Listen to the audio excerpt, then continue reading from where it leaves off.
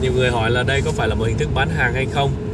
Thì tùy các chị định nghĩa bán hàng là thế nào các chị công ty New Skin không phải là khi tham gia các chị không phải mua một đống sản phẩm về rồi để mình bán lẻ. Mà thực sự là cái hình thức phân phối rất là hay.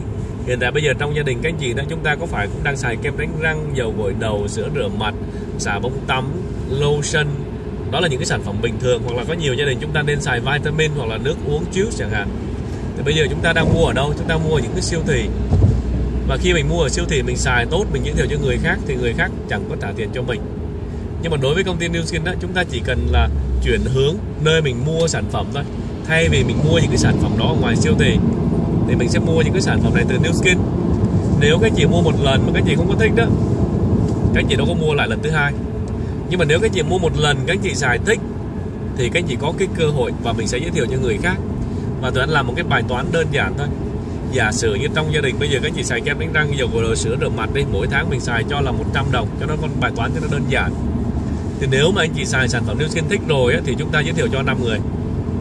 Và nếu mà 5 người này đó các chị nên nhớ ha là muốn lấy cái sơ mà lấy cái số membership của công ty New Skin nó hoàn toàn miễn phí không có lệ phí cho ai hết. Thì khi mà 5 người này họ cũng sẽ mua hàng từ công ty công ty sẽ gửi hàng về cho họ.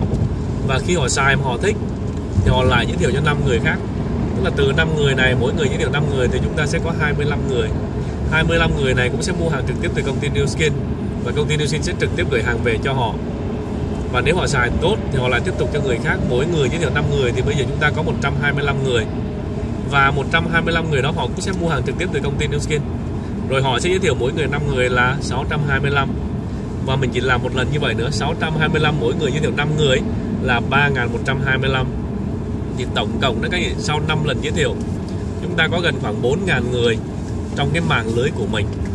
Nếu mỗi người hoặc là mỗi gia đình nó xài 100 đồng, thì 4 4 ngàn mà nhân cho 100 đồng là 400 ngàn. Mà nếu công ty New xin trả cho các anh chị 5% thì các anh chị sẽ có thu nhập là 20 ngàn đô la. Và cái số tiền này nó gọi là thu nhập thụ động. Tức là khi mà họ xài kem đánh răng, dầu gội đầu mà hết rồi thì chuyện gì xảy ra các anh chị? Họ sẽ tiếp tục họ mua. Thì khi họ tiếp tục mua thì các anh chị lại có tiền huê hồng đều đặn như vậy mỗi tháng. Thế nên là cái này không phải là một hình thức bán hàng như là một hình thức uh, giới thiệu và nói đúng ra là một cái hình thức xây dựng mạng lưới. Để qua cái mạng lưới đó công ty New Sin nó phân phối sản phẩm.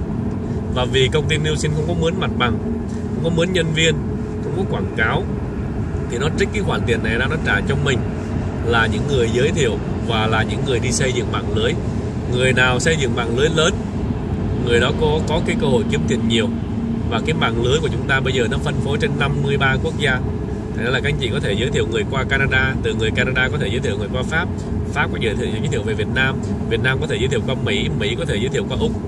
Và đó là cái cơ hội của các anh chị, chứ chúng tôi không phải là những người bán hàng.